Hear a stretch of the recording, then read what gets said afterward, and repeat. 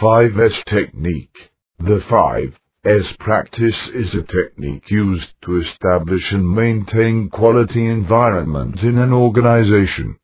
The name stands for five Japanese words dash, seiri, seitsu, seitsu, Chikitsu, Shitsuke.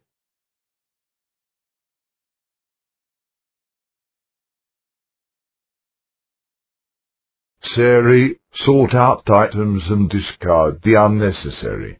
Do you find items scattered into your workplace? Are there boxes, papers and other items left in a disorganized manner? Are there equipment and tools placed on the floor? Are all items sorted out and placed in designated spots? Are the tools properly sorted and stored? Seiton, arrange a place for everything.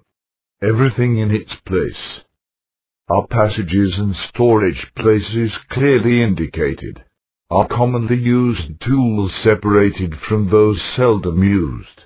Are containers and boxes stacked up properly? Are fire extinguishers and hydrants readily accessible?